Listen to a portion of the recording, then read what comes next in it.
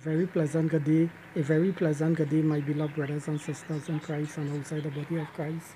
Well, once again, well, once again, this is your Christian brother Eric Braxton speaking to you all from his beloved country, Trinidad and Tobago, the land of my nativity, the land of my birth. Trinidad and Tobago, this wonderful island country that is in the blue Caribbean Sea, speaking to you all in the month of October 2019 in this part 2 video, I've recorded part 1 video about Christopher, the British guy, Christopher Hitchen, who claimed that God is not great. In this part 2 video, I want to remind my friend that the greatest person in the universe is God.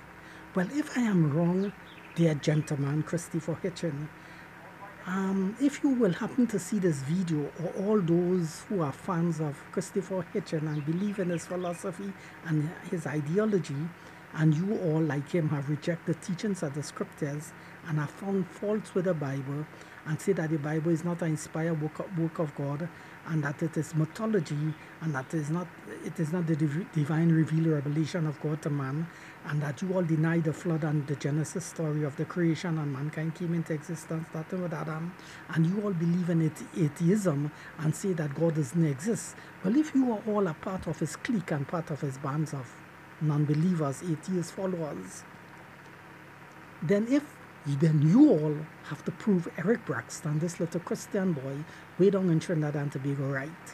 I mean wrong. So right now I'm throwing out a challenge to you, Christopher Hitchen, my dear brother, and all your followers on YouTube and around the world. I want you and all your bands of cliques of followers to find a person that is greater than God and bring that person in Times Square in New York or in or in London and before the, the journalists and the prestige journalists let them film him and record him and let us see if he is greater than God. Can you find that person, my dear sir? Because you are seeing that God is not great. And I know God is the greatest person in the universe. There's no other person greater than God because He's the creator. It is He who created all the angels, the universe, physical universe, and mankind. And you saying God is not great. Well, find someone that is greater than God and bring him in Times Square in London. Can you have to do that, my dear friend? You see, you can't just be talking that. Find that person that is greater than God and let us see who he is. I stated in part one, you will not find him amongst none of God's angels because God created the angels. God is higher than the angels. And God created the animals. You will not find no animal that is greater than God. And God created Adam and Eve, the whole of mankind. And you will find no man that is greater than God. If you could go back in the past and check on and see if any man live who was greater than God. But keep in mind, they live and they die. So then you'll have to find up, dig up the bones. You think Mussolini was greater than God? Well, find the bones and bring him in Times Square, and I will show you he's a dead man, and he wasn't greater than God. So, so you have two choices: either find him amongst the dead or amongst living people. Okay, I want to throw out a question to you, my lone friend, because I know it seems like you are a college boy. Okay, um, I'm not. And I'm simply saying, this is a question to you. Amongst all the 8 billions of people that is alive now, I want you to record a video and name that person to me and to the world who you think that person is and, and, and point out that you think that person is the greatest person than God. In other words, let me give you, if you don't understand what I'm saying, um, let us say the person is the Prime Minister of Japan he and say, well, he, the Prime Minister of Japan is a great, is, is he is greater than God. Or find a next person who you think is the great, who is alive now, who is greater than God and name him. Or if he is not alive currently now, but he lived in the past and died, can you name that person who lived and died who you think was greater than God? So the world will know. So let's not talk that on a stage or in a forum or in a lecture name the person who you think is greater than God. But you're not doing that. You're not doing that, my friend. You know what you are doing? You just make a statement that God is not great. Well, if God is not great, in your mind you think there's somebody who's greater than God. Well, find the person and name him so we'll know who he is. Are you willing to do that? uh, that job is cut out for you to do now, my dear friend. And when you when you find him and you name him, ah, I will tell you now whether he is greater than God or whether he's not greater than God. But you have to do that part first. I am already showing you my part that God is the greater. All greater than all the angels, my God, the universe and the planets and everything. Because he's the creator God. You think I'm funny? You think I'm a comic on the, on the show? You think I'm a comedy on the international in the on the, on the world stage or through the international community? Community. I am not that, my friend. I am this little Christian boy, Eric Braxton, way down in Trinidad and Tobago. I'm pointing out these facts to you, my dear friend, and all of you all atheists in the atheist community who are talking about the new atheist experience that atheist experience that you all are exper- experience is denying God. That experience is not good for you all. And all that experience that you all are telling other people to accept that God doesn't exist, you all are bringing a bad experience onto them. Yes. So what that experience is not good because you all are denying all the creator God who created you all.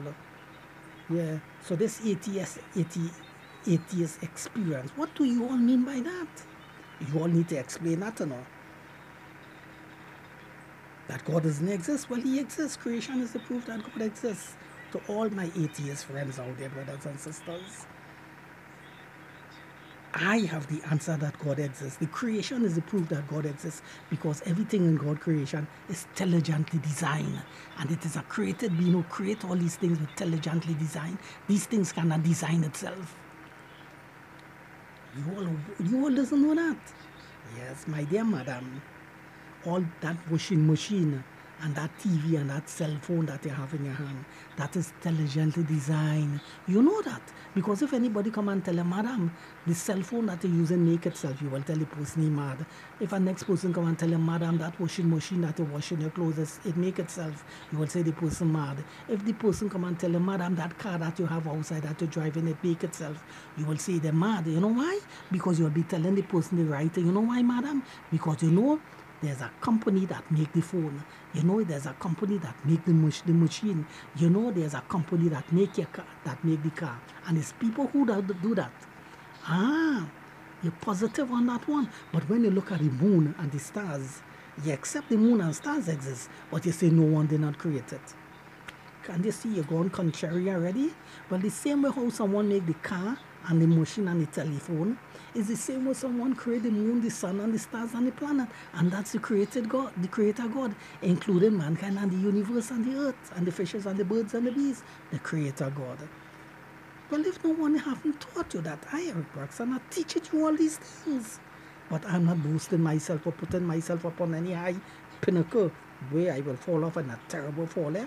I am being humble and I'm telling you all the truth. It's not I alone teaching you all that. All the true Christians in the body of Christ will tell you all the same thing, my dear friend.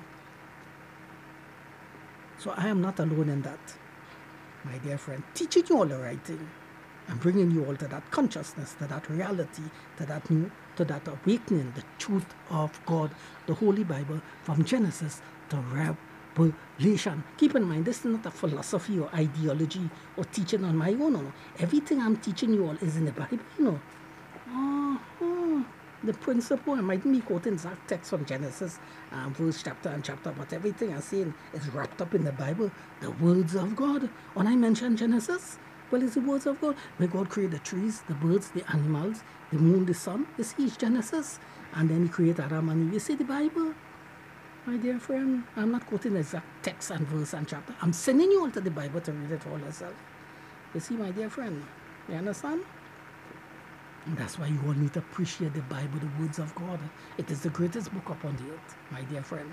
I want you to know that. But you all want to find fault with it and say it is not inspired and it contradicting itself and is a make-up thing by different authors and it comes down to oral tradition and also a flimsy excuse that you all are using to justify that the Bible is not the word of God and is a bunch of mythology make up by man. It is a Nancy story, no, no Nancy story. It is the real thing. It is the real story given to mankind by God, by his inspired servants of God. My dear friend, the prophets of God and the apostles. Yes, all a New Testament, my dear friend, brothers and sisters. I want you all to know that a full 100%. I want you all to come to understand that and embrace that truth. Yes, yes, yes, my dear friend. So, my dear friend Christopher Hitchin, I want you to know again in part two video that God is the greatest. Oh, yes, He's the greatest. And there's no one that is greater than Him.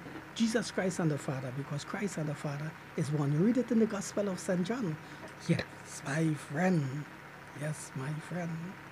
But but if you want to take up the channel, chant the chant the challenge to find that person who you think that is greater than God, please identify him whether he is currently alive or he have lived and died in the past. Let's make a statement like that. Find the person and present him to the world or let the world know who you think that a person lived in the past that was greater than God or that a person who is currently alive that is greater than God. And let me top it off, being honest to you, even if you, you, you find that person who have lived in the past and have died, live and die, who you think is greater than God, or you find somebody who is currently alive who you think is greater than God, and you present him before us, you will recognize that he's just a mere man just as us like all of us. You know why? Because he when he when he when he when he thirsty, he had to drink water. When he when he wanted when he wanted bathe, he had to bathe using water.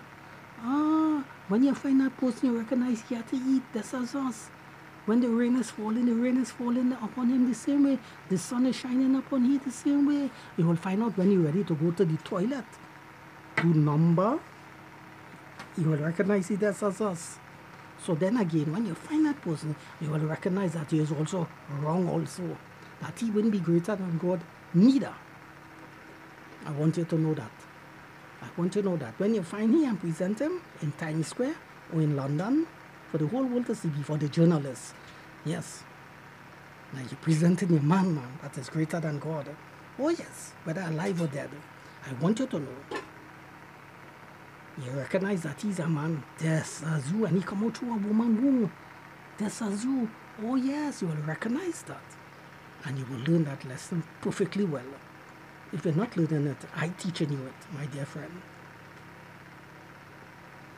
You will recognize in the end that all men is just men. And that God, He's the one who created man, and man did not create God. You will recognize it as God who created the angels, and the angels did not create God. You will recognize it as God who created the universe, and the universe did not create God. You will recognize that God is the biggest person in the universe. Yeah, bigger than everything. He's the greatest than everything. As I like to say, the supreme greatest one of everything. He's supreme great. You will recognize that in due time, my dear friend. And I want you to learn that lesson perfectly well. I have learned it perfectly well. That's why I can teach that lesson to you all and to all and sundry. It's true, when I was much younger, I did not learn that lesson, but I thank God that I've learned that lesson well, so I can teach others about it. How wonderful, how wonderful indeed, in the mighty name of Jesus Christ. May God bless you all to accept this message of full 100%. Shalom peace. See you all in the next video soon. Bye-bye, my friends.